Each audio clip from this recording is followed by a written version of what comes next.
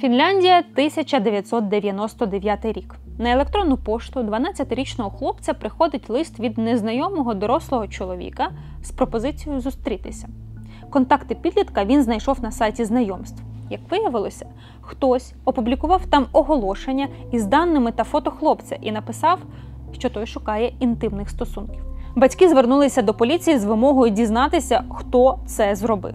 Правоохоронці пішли до інтернет-провайдера, однак той відмовився розкривати дані користувачів, пославшись на законодавство, яке гарантувало їм приватність. Зрештою, за справу взявся Європейський суд з прав людини і дійшов висновку, що незважаючи на необхідність надавати користувачам інтернету певні гарантії свободи вираження поглядів, уряд Фінляндії не зміг належно збалансувати їх із зобов'язаннями щодо захисту неповнолітніх від насильства в мережі.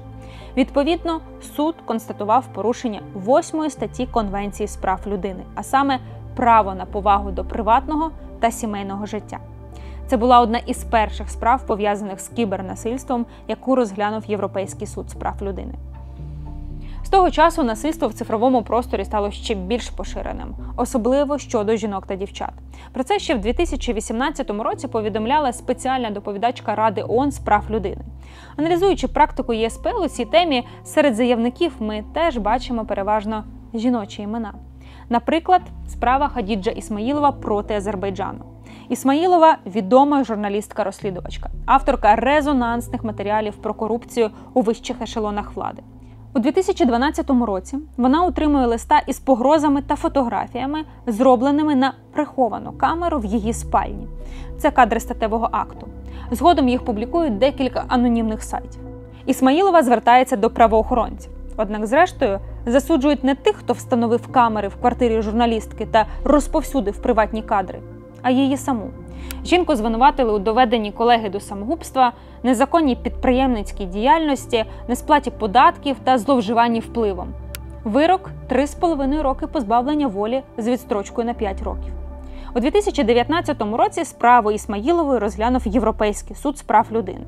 Він наголосив, що дії, вчинені проти заявниці, здаються результатом ретельно спланованої та проведеної операції за участі кількох людей, а органи влади не виконали свого зобов'язання щодо належного захисту права жінки на приватне життя. Відповідно, знову була порушена восьма стаття Конвенції з прав людини. Ще одна важлива справа у цьому контексті Бутуруга проти Румунії. Джина Аурелія Бутуруга регулярно зазнавала насильства від свого чоловіка. Він її бив, погрожував виконати з балкона та вбити сокирою. Вона звернулася до поліції, однак, за її словами, правоохоронці намагалися переконати жінку відкликати заяву, бо травми, начебто, були несерйозними. Пізніше Бутруга також заявила, що чоловік зайшов у її аккаунт на Фейсбуці та скопіював переписки, документи та фотографії. Вона подала нову скаргу цього разу за порушення таємниці листування. Однак суд вирішив, що це не має відношення до предмету справи. І лише Європейський суд з прав людини, розглядаючи звернення Бутуруги, вперше розглянув кібербулінг як один з видів домашнього насильства над жінками. У своєму рішенні суд наголосив на багатогранності домашнього насильства і тому, що кібернасильство може бути однією з форм, у якій це зловживання проявляється.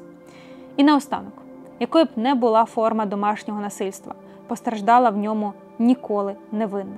Відповідальність за злочин лежить лише на тому, хто його чинить.